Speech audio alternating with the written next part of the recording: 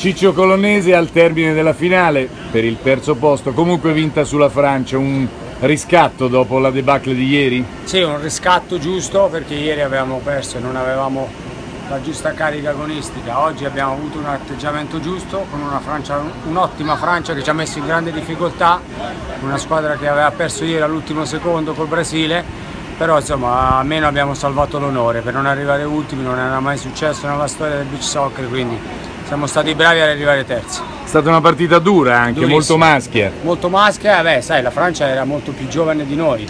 Sentivo prima, a fine partita, parlavo con qualche ragazzo, insomma un paio di giocatori hanno 94, nel 95, insomma molto giovani. Quindi ci è voluta grande esperienza, è stata una partita maschia, bella, combattuta, però alla fine abbiamo vinto, quindi siamo molto felici di ciò.